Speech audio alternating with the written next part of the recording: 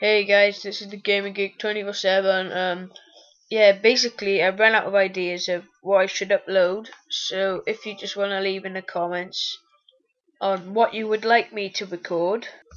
So, yeah, if you can um, just leave in the comments on what you would like me to upload, be very appreciated. And when you go over and subscribe to DualBlueFighter, I'll leave his link in the description. And also go subscribe to the um, MonsterKlaw um, Ewoka 20, which he currently just made a video of um, Mining Respect. So yeah, if you want, let's go out and um, subscribe to them. Share if you just leave a comment on what I should do, just to help you guys. Well, basically not helping you, it's just I just want to grow my channel and everything. So yeah, these are just a couple of games. I'm gonna stop talking, and these are the couple of games which I'm planning of recording.